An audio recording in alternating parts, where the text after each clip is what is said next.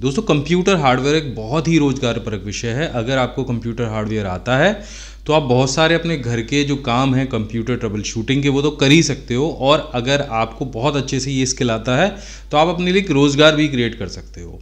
वैसे तो इस वीडियो में हम जानने वाले हैं कि कंप्यूटर में बूटिंग की प्रक्रिया क्या होती है। जब आप ऑपरेटिंग सिस्टम डालते हो तो कैसे सिस्टम को बूट कराते हो और वो प्रक्रिया कैसे काम करती है। लेकिन अगर आप कंप्लीट हार्डवेयर कोर्स करना चाहते हो तो आप हमारी वेबसाइट पी इन पर जाके विज़िट करो। वहाँ पर हमने बहुत ही गज़ब का एक हार्डवेयर कोर्स तैयार किया है। बहुत बारीकी से, बहुत सरल भाषा में हमने बहुत सारी चीज़ें वहाँ पे क्लियर की हैं। आप हार्ड डिस्क के पार्टीशन कैसे कर सकते हैं, आप ऑपरेटिंग सिस्टम कैसे डाल सकते हैं कंप्यूटर को असेंबल कैसे करते हैं। हार्ड डिस्क की अलग अलग डेफिनेशंस क्या होती हैं? कैसे हार्ड डिस्क को ओपन करते हैं? कैसे प्रोसेसर को निकालते हैं? फ़ैन निकालते समय किन चीज़ों का ध्यान रखते हैं? ये सारी चीज़ें हमने बारीकी से बताई हैं और वो कोर्स कैसे ज्वाइन कर रहे हैं? नीचे डिस्क्रिप्शन में लिंक है। पीसी स्किल डॉट इन का, वहाँ पे जाइए, जाके कोर्स को एनरोल करिए। कंप्यूटर हार्डवेयर के पहले लेसन में आपका स्वागत है। इस लेसन में हम जानने वाले हैं कंप्यूटर हार्डवेयर के बारे में, लेकिन उससे पहले हम जानने वाले हैं कंप्यूटर के परिचय के बारे में। क्योंकि हार्डवेयर समझने से पहले आपको कंप्यूटर का परिचय जानना आवश्यक है। तो कंप्यूटर की परिभाषा जो आपने किताबों में पढ़ी होगी, वो मैं आपको बता देता हूँ। कंप्यूटर एक इलेक्ट्रिक मशीन है, जिसका आविष्कार गणना करने के लिए हुआ था। इतना तो ये बात सिंपल हो गई, लेकिन इसको विस्तार पूर्वक समझने के लिए आपको चीज़ें समझनी होगी। कंप्यूटर, जिस समय पे कंप्यूटर बनाया गया था, उस समय पे कोई ऐसी मशीन नहीं थी जो बहुत सारी जटिल गणनाओं को तेज़ी के साथ में कर सके। अब अगर हम मनुष्य की बात करें तो वो आठ, दस, पंद्रह, बीस या सौ कैलकुलेशन तक कर सकता है, लेकिन उसमें भी उसको समय लगेगा। अगर बात आती है कि आपको हज़ार, दो हज़ार या दस हज़ार कैलकुलेशन एक साथ में करनी है, तब मनुष्य के पास कोई भी ऐसी मशीन नहीं थी। तो उस समय में कंप्यूटर को सिर्फ़ इसीलिए बनाया गया था कि भाई, जो कैलकुलेशन बहुत बड़ी बड़ी होती हैं, बहुत जटिल होती हैं, उनको तेज़ी के साथ में किया जा सके। तो ये तो हो गई सिंपल सी बात कि कंप्यूटर की ज़रूरत हमें क्यों पड़ी? यानी कैलकुलेशन करने के लिए पड़ी। अब कंप्यूटर का जो बेसिक जो परिचय है, उसको समझ लेते हैं। देखिए, कंप्यूटर एक इलेक्ट्रॉनिक मशीन है, जो कि इनपुट प्रोसेस और आउटपुट के बेसिस पे काम करती है। तो पुराने समय में भी ऐसे ही होता था। चार्ल्स बेबिज ने जब डिफरेंस इंजन बनाया था तो वो भी इसी प्रोसेस पे काम करता था कि उसमें डेटा का इनपुट दिया जाता था, वो डेटा को प्रोसेस करता था और उसके बाद आउटपुट देता था। तो वो जो वर्तमान कंप्यूटर आप इस समय देख रहे हैं, वो भी इसी तरह से काम करता है। तो आप बात कर लेते हैं मशीन की, क्योंकि कंप्यूटर को हमने एक मशीन बताया है और वो भी इलेक्ट्रिक मशीन। तो इलेक्ट्रिक मशीन होती क्या है? उसके लिए आपको मशीन की डेफिनेशन समझनी होगी। तो जब मशीन कोई बनाई जाती है तो मनुष्य के काम को सरल करने के लिए बनाई जाती है। हम जो भी काम करते हैं, हमारे स्तर से जब ऊपर का हो जाता है या हमें करने में कठिनाइयाँ होती हैं तो हम एक ऐसी चीज़ बनाते हैं जिससे वो हमारा काम सरल हो जाए और उस चीज़ को हम मशीन का नाम दे देते हैं। ये भी मशीन तीन तरह की होती हैं। पहली सिंपल मशीन, दूसरी इलेक्ट्रिक मशीन और तीसरी इलेक्ट्रॉनिक मशीन। सिंपल मशीन की सिंपल सी डेफिनेशन है कि आप जो उस तरह की मशीन्स होती हैं, उनको अपने हाथ के बल से काम करा सकते हैं। जैसे कि सबसे सरल चीज़ हो गई उसमें पहिया। सबसे पुरानी चीज़ है। आपको कोई भी चीज़ लुढ़का के ले जानी है, आप उसमें पहिया फिट कर दीजिए और वो आसानी के साथ में आगे या पीछे आप उसको कर सकते हैं। हथौड़ा हो गया। आपने दीवार में कील ठोकनी है तो आप हाथ से नहीं ठोक सकते हैं। आप हथौड़े से बड़े आसानी के साथ में कील को ठोक सकते हैं। आपका प्लास हो गया, पेचकस हो गया। घर में जितने भी टूल्स होते हैं, जो आपके हाथ के पावर से चलते हैं, वो सारी सिंपल मशीन कहलाती हैं। इसके बाद आ जाती है इलेक्ट्रिक मशीन। वो मशीनें इलेक्ट्रिक मशीन कहलाती हैं, जिसमें आपको सिंपल लाइट देनी है, इलेक्ट्रिसिटी देनी है, और वो इलेक्ट्रिसिटी पास करने के बाद में ना चलने लग जाती हैं। उसका बहुत सिंपल उदाहरण हो गया, आपके घर में लगा हुआ बिजली का बल्ब आपने इलेक्ट्रिसिटी पास की और बल्ब जल जाएगा। आपके घर का पंखा, आपने इलेक्ट्रिसिटी पास की, पंखा चलने लग जाएगा। लेकिन ये जो सारी मशीनें हैं, जो इलेक्ट्रिक मशीनें हैं, वो सिंपल एक ही काम करने के लिए बनी होती हैं। बहुत अलग अलग तरह के काम नहीं कर सकती हैं। अब इसमें भी एक चीज़ अब आगे एडवांस हुई कि अगर हमें एक मशीन से कई और बहुत सारे तरह के काम कराने हैं तो इन मशीनों में सर्किट बोर्ड को लगा दिया जाता है और साथ में कुछ सॉफ्टवेयर भी इंस्टॉल कर दिए जाते हैं। तो ये जो मशीनें हैं, ये कहलाती हैं इलेक्ट्रॉनिक मशीन्स जिसमें सर्किट बोर्ड भी लगा रहता है और इलेक्ट्रिसिटी भी पास करनी होती है। और इलेक्ट्रॉनिक मशीन का सबसे बहुत महत्वपूर्ण जो उदाहरण है कंप्यूटर है कि एक कंप्यूटर के अंदर एक सर्किट बोर्ड रहता है, उसके अंदर सॉफ्टवेयर भी इंस्टॉल रहते हैं और वो एक से ज़्यादा तरह के काम करने के लिए बना होता है। उसके बाद में आपके घर का टीवी यानी टीवी में भी आप बहुत सारे काम कर सकते हैं। रिमोट का आपको बटन दबाना है वॉल्यूम को अप कर सकते हैं डाउन कर सकते हैं ब्राइटनेस को घटा बढ़ा सकते हैं चैनल को बदल सकते हैं। और अब तो उसमें एंड्रॉयड भी आ रहा है तो आप उसमें बहुत सारे तरह के काम करते हो तो यूट्यूब भी आप अपने टीवी के अंदर चला सकते हैं। आपके घर की वॉशिंग मशीन उसका एक प्रॉपर पैनल होता है और उसमें भी अलग अलग तरह के आप काम कर सकते हैं। आपके घर का माइक्रोवेव ओवन है उसमें भी ढेर सारे तरह के आप काम कर सकते हैं। तो ये जो सारी चीज़ें हुई हैं ये आ, सब चीज़ों को हम जो कर पाए हैं उसकी वो उसका मेन जो वजह है वो है सर्किट बोर्ड कि उसमें अलग अलग तरह की चीज़ करने के लिए अलग अलग फंक्शनैलिटी होती है।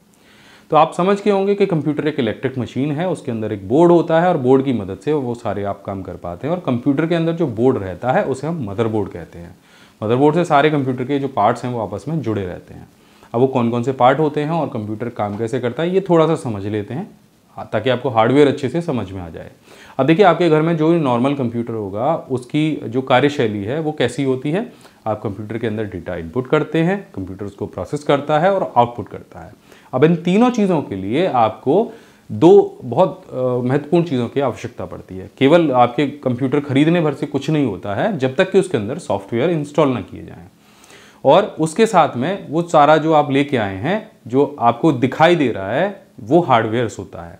यानी सॉफ्टवेयर क्या होते हैं? कंप्यूटर का बटन आप जो ऑन करेंगे और जो स्क्रीन पे आपको सारी चीज़ें दिखती हैं छोटे छोटे आइकन्स आपको दिखते हैं, आपका ऑपरेटिंग सिस्टम दिखता है, अंदर जो कुछ भी आपको फंक्शनैलिटी दिखती है, जो एप्लीकेशंस दिखती हैं वो सॉफ्टवेयर होते हैं और जो आप बाज़ार से ख़रीद के लाते हो, जो धातु की चीज़ें होती हैं, जिन्हें आप टच करके देख सकते हो, वो सारी चीज़ें हार्डवेयर कहलाती हैं। अब दोनों के संगम से ही आपका कंप्यूटर चलता है। अगर हम केवल हार्डवेयर ले आएँगे और उसमें कोई भी एप्लीकेशन नहीं डालेंगे तो आप कंप्यूटर को नहीं चला सकते, कुछ भी काम नहीं कर सकते। और अगर केवल हम सॉफ्टवेयर बाज़ार से परचेज कर लें और हमारे पास हार्डवेयर ना हो तो भी हम कुछ नहीं कर सकते। तो दोनों चीज़ों का होना बहुत ज़रूरी है। इसके बाद में भी ये तीन तरह से काम करता है। जैसे मैंने पहले आपको बताया कि इनपुट लेगा, उसके बाद प्रोसेस करेगा, उसके बाद आपको आउटपुट देगा। तो इन तीनों चीज़ों के लिए भी अलग अलग तरह के हार्डवेयर की आवश्यकता होती है। तो इनपुट करने के लिए आपको चाहिए इनपुट हार्डवेयर प्रोसेस करने के लिए आपको चाहिए प्रोसेसिंग हार्डवेयर और आउटपुट लेने के लिए आपको चाहिए आउटपुट के लिए हार्डवेयर अब ये तीनों को हम या तो हार्डवेयर कह लें या तो डिवाइस कह लें, एक ही शब्द है। इनपुट के लिए अब आपको मैं बता देता हूँ, जब आप कंप्यूटर में कोई डेटा एंटर करना चाहते हो, कोई नाम टाइप करना चाहते हो तो सबसे कॉमन और सबसे पॉपुलर चीज़ है कीबोर्ड आपने देखा होगा उसमें ढेर सारे बटन लगे रहते हैं नंबर भी आप उसमें से फ़ीड कर सकते हो, आप नाम भी लिख सकते हो, और भी ढेर सारी चीज़ें कर सकते हो। इसके बाद में आप जो एक कॉमन आपने डिवाइस देखी होगी, जिसे हम नेविगेशन डिवाइस बोलते हैं माउस है कोई चीज़ आपको सेलेक्ट करनी है, कोई आपको कट कॉपी पेस्ट करना है तो आप माउस के माध्यम से करते हो। आपको किसी से वीडियो चैट करनी है तो आप क्या करोगे, आप एक वेब कैम लगाओगे अपने कंप्यूटर पे, तब आप वीडियो चैट कर पाओगे। बहुत सारे बच्चे तो लाइव क्लासेस भी लेते हैं वीडियो चैट के थ्रू आज तो बहुत कॉमन है आज के ज़माने में। इसी तरह से अगर आपको अपनी साउंड रिकॉर्डिंग करनी है तो आपको वहाँ पे माइक्रोफोन लगाना पड़ेगा। वो एक इनपुट डिवाइस होगी आपकी साउंड का इनपुट चला जाएगा, फिर आप उसको रिकॉर्ड कर पाओगे एडिट कर पाओगे। तो ये जो चीज़ें हैं, वो इनपुट में आती हैं। इसके बाद में, अब मैं बात करूँ आउटपुट की तो आउटपुट क्या होगा? कंप्यूटर से जो चीज़ें हमें मिल रही हैं। यानी इनपुट क्या है? कि हम जो कंप्यूटर को चीज़ें दे रहे हैं, और आउटपुट क्या है? जो चीज़ें हम उससे मिल रही हैं। तो हमें कंप्यूटर से किस तरह किस किस माध्यम से चीज़ें मिलती हैं? तो सबसे कॉमन चीज़ क्या है? आपका मॉनिटर है। आप कंप्यूटर के अंदर जो भी काम कर रहे हो, अगर मॉनिटर नहीं होगा, आपको दिखाई नहीं देगा तो आप कुछ भी नहीं कर पाओगे। तो सबसे कॉमन जो आउटपुट डिवाइस है, वो आपका मॉनिटर है। उसके बाद में आपने कंप्यूटर में कुछ टाइप किया और आपको उसका प्रिंट आउट चाहिए। अब मैं देखो प्रिंट के साथ में आउट शब्द इसलिए बोल रहा हूँ क्योंकि हम उससे आउट ले रहे हैं। तो आपको उसका प्रिंट चाहिए। प्रिंट के लिए आप क्या लगाएँगे? एक प्रिंटर लगाएँगे, तभी आप उसका आउटपुट ले पाएँगे। आपने को कंप्यूटर में कोई मूवी देखनी है तो दो तरह का आउटपुट आपको चाहिए होता है। पहला आपको डिस्प्ले का आउटपुट चाहिए होता है, दूसरा आपको साउंड का आउटपुट चाहिए होता है। तो क्या लगाएँगे आप? स्पीकर लगाएँगे। तो स्पीकर क्या करेगा? आपको कंप्यूटर के अंदर जो भी साउंड चल रही है, उसका आउटपुट देना शुरू कर देगा। ठीक है तो ये जो सारी चीज़ें आपको कंप्यूटर से मिलती हैं, वो आउटपुट डिवाइस कहलाती हैं और जो चीज़ें आप कंप्यूटर को देते हैं, वो इनपुट डिवाइस कहलाती है। अब इनके बीच की चीज़ आती है प्रोसेसिंग प्रोसेसिंग के लिए आपको किन किन चीज़ों की ज़रूरत होती है? सबसे महत्वपूर्ण चीज़ जिसे हम कंप्यूटर का दिमाग भी कहते हैं, वो होता है प्रोसेसर और वही सारी चीज़ों की कैलकुलेशन करता है कि आपने क्या इनपुट दिया है और आप क्या आउटपुट चाह रहे हो। अब इनपुट और आउटपुट के बीच में प्रोसेसर को भी ये कैसे पता चलता है, वो कैसे प्रोसेस करता है, इसको भी थोड़ा सा समझेंगे। लेकिन इसके साथ में पहले हम प्रोसेस डिवाइस को थोड़ा सा और समझ लेते हैं। अब प्रोसेसर लगा कहाँ रहता है? वो आपके मदरबोर्ड में लगा रहता है। अब मदरबोर्ड आपके सारे जितनी भी डिवाइसेस हैं, उसको मदरबोर्ड कहते ही इसीलिए हैं कि वो आउटपुट को भी कनेक्ट करता है अपने साथ में एक साथ और इनपुट को भी कनेक्ट करता है। दोनों चीज़ों को आपस में जोड़ के रखता है। यानी आप कीबोर्ड भी कनेक्ट करते हैं तो किससे करते हैं? मदरबोर्ड से। और आप प्रिंटर भी कनेक्ट करते हैं तो किससे करते हैं? मदरबोर्ड से। तो इनपुट और आउटपुट डिवाइसेस और प्रोसेसिंग डिवाइस भी, ये सारी चीज़ें मदरबोर्ड के साथ में इंटरकनेक्ट रहती हैं। ये सारी चीज़ों को जो निर्देश देने का काम होता है। अब कैसे पता चलेगा कि आपने कंट्रोल पी दबाया है और प्रिंटर से प्रिंट नहीं निकलना है? हो सकता है कि कीबोर्ड से प्रिंट निकल आए नहीं निकलेगा ना? वो कंप्यूटर को कैसे पता चलेगा कि प्रिंटर को कमांड जानी है, कि स्पीकर को कमांड जानी है, या मॉनिटर पर डिस्प्ले रखना है? तो ये सारी चीज़ों को करने के लिए सबसे पहली चीज़ जो मैंने आपको बताई थी सॉफ्टवेयर सिस्टम सॉफ्टवेयर्स और एप्लीकेशन सॉफ्टवेयर्स की आवश्यकता पड़ती है। भाई कंप्यूटर कोई छोटा सा बच्चा तो नहीं है कि आपने बोल दिया कि भाई ये काम कर लो, ये काम कर लो। तो वहाँ पे ज़रूरत पड़ती है सॉफ्टवेयर की।